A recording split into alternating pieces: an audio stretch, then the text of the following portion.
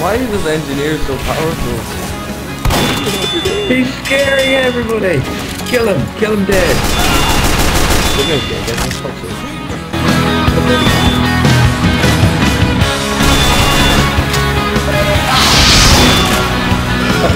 fucker.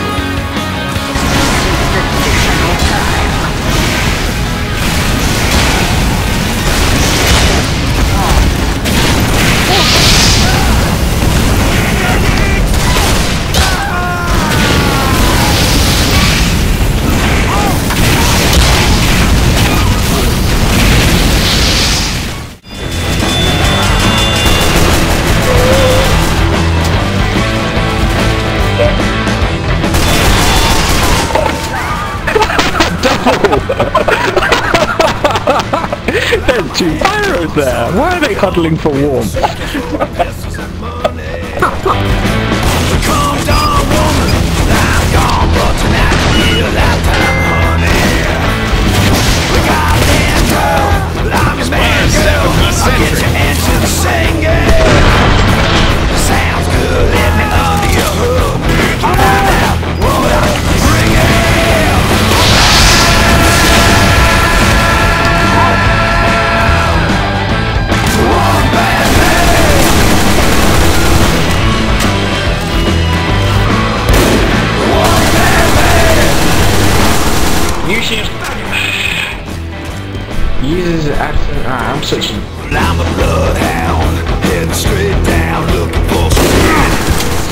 annoying it is when you're shot with an SMG?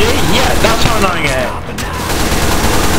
Give me, give me a, uh, a, a, Nice legs, making me beg. The mini in your back, six miles.